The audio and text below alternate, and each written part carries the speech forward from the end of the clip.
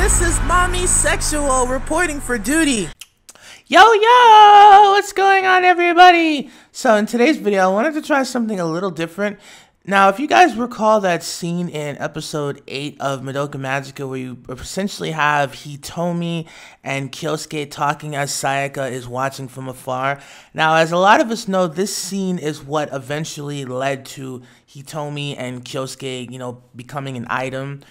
But what's interesting is that in the anime, they never specifically tell us what type of dialogue is being expressed between these two during this time frame. So I thought it'd be kind of fun to maybe analyze the scene a little bit more closely and maybe try to determine just based on what little information is presented as to what type of conversation that the two of them are having you know, of course, this is just going to be my own interpretation. So let's just see what we get. So I have episode 8 fired up here. And so, as I said, okay, so we have Hitomi. Um, now, what's really interesting is if you look, I, I, I'm, I'm going to try to see if I can play this back. I may not be able to because of the kind of player that I'm using. But let, let me try and see if I can. Okay. So now, the way that Hitomi's head popped up just there sort of makes me think like, you know, when a character is having an outburst of like really being happy. In other words, I think she, she's probably, you know, opening herself up to really compliment Kyosuke a lot. You know, that, that that's the feeling that I kind of get. It's like, you know, she lifts up her head like all enthusiastically, you know, saying, you know, oh my God, I think you're so awesome, great. You know, she's basically complimenting him. And so that that that's kind of what I feel like this scene might be implying here. So she's basically saying things like, "Oh, I think you're great. I've always admired you and your ability to play the violin." You know, that's what I'm thinking. And I think, and my interpretation of this from the facial expression is Kyosuke is kind of surprised. Wow, I had no idea that you watched me from afar, or I had no idea that you that that, that you took notice of the of the way that I played. I, I just I just kind of get this uh, impression that he's kind of like. Wow, really? You know, he kind of has that look like, oh wow, really? You were you were watching me this whole time, or you really think it's that great, or something like that. Like he's kind of just like. So as we move on, so they're talking, and I kind of feel like I really feel like Hitomi is really confessing all of her feelings toward Kyosuke. Like uh, my interpretation is that you know she's basically you know again she's complimenting him and she's saying things like, "Oh, I've always watched you from afar. I've always admired your dedication, your amazing you know playing skills, and I've always thought you were great." You know, she she's essentially just really opening up and really you know expressing all these good things about what she noticed of him, and he's kind of like, "Wow." Really? You really? And now now and, and and i like this right here because if you notice he he's taking his hand and he's putting it um, you know, in the back of his head, which I think kind of signals that he's embarrassed now. So after Hitomi essentially confesses all these different things, he's now embarrassed over because now, now, now it's really starting to sink in, and now he's thinking, oh wow, you, you know, it's like this is the kind of thing where it's like, oh my god, I had no idea you felt like that, or I had no idea I was being watched. And he might be saying things like, oh my god, well, I'm not that great. I mean, come on, come on. so I think he's kind of embarrassed at this point. That's the interpretation that I get, which I kind of feel like highlights the fact even more that Hitomi was, um, you know, complimenting him and saying, you know, all these great things about him. So now he's kind of embarrassed. Now it looks like he's smiling. I wouldn't be surprised if now they're they're they're they're talking a little bit more about the nature of classical music because it's interesting because um, I played. Now I haven't uploaded it yet. I'm hoping to upload it soon, but there's actually a scene in the portable Madoka Magica game where like if you guys remember how Sayaka had all that information in regards to classical music.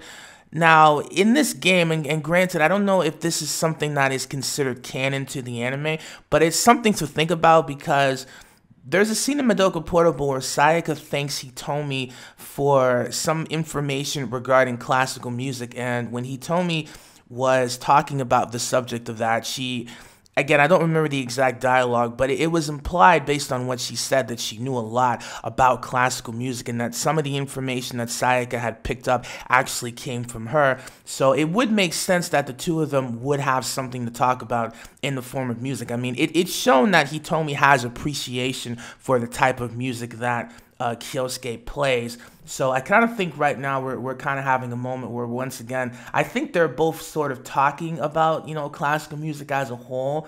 And uh, it's the kind of thing where, because of the fact that he's smiling, I think I think they're they're kind of reaching like an, an understanding when it comes to that type of music. I, I kind of feel like that's where the conversation is going. Like instead of it being completely focused on him, uh, as it was before. That's why he was embarrassed and everything. I kind of feel like now it's it's now it's focusing more so on the nature of the kind of music that Kyosuke plays. So I think that they're finding some type of you know connection in this regard.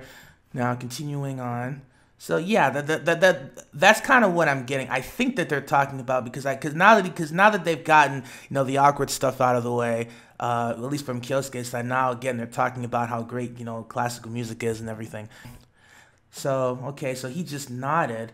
Um, another thing that I think might have also happened in this scene, because obviously the whole point of this scene was the fact that Hitomi was trying to confess to Kyosuke, and I kind of feel like, you know, even though they were probably talking about the nature of the music that he plays, I think that I think that right I think that right then and there Kyosuke was accepting uh, Hitomi's um, confession to be his girlfriend. I kind of feel like he was just nodding his head right then and there as to say, "Yes, let's go out."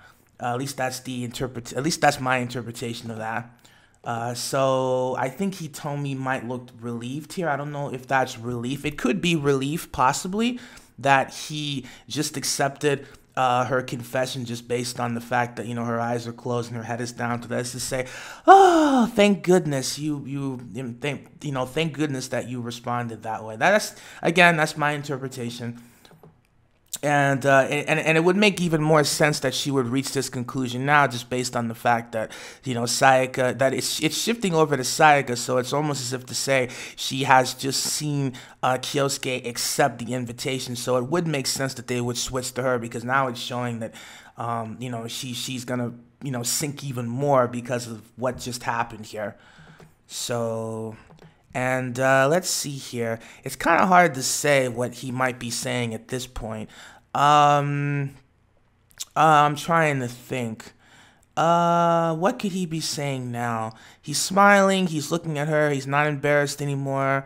Um, maybe he's saying something along the lines of, "Oh, I'm sure we'll probably have a lot of fun," or maybe he's just confirming it to her once again. Yeah, let's do it, or or something along those lines. I just think that the, essentially the the confession has been said. He has accepted it. So I guess the only thing that's going to be said now is, you know, I mean, they they could be making plans for something, but I really think it's just his way of confirming this again. Or maybe he's complimenting her and saying something that he thinks that he's, he's talking, he's saying something about her. Because so far, I haven't really gotten the sense that he's really complimented. Hitomi at this point, so maybe he's saying something, you know, about her in particular at this point and now she's smiling with her eyes closed. Um, again, I'm trying to think. Yeah, the, well, the, like I said, that's what I think is going on here. I think perhaps, um, I think perhaps, uh, you know, he he confirmed it, and now Hitomi is just you know she's really happy that it's official that they're now officially going out. Okay, so I think that's pretty much it. Uh, this was just a random idea that I came up with because I've always had my own interpretation as to what that scene meant in episode 8, but I never like really took the time to watch it to the point of being able to come up with my full opinion as to what was being expressed and how it was being expressed. So I just wanted to take a, a closer look. So I want to hear from you guys now. Based on the interaction that Kyosuke and Hitomi have had within the um, within episode 8 what do you think was specifically said uh, between the two of them? Because the anime intentionally leads it out so it kind of forces us all of us to come up with our own interpretation of what was said. So what do you think was said between the two of them? Uh, let me know your thoughts in the comments below and i'll catch you later. This is Mami Sexual signing out. Peace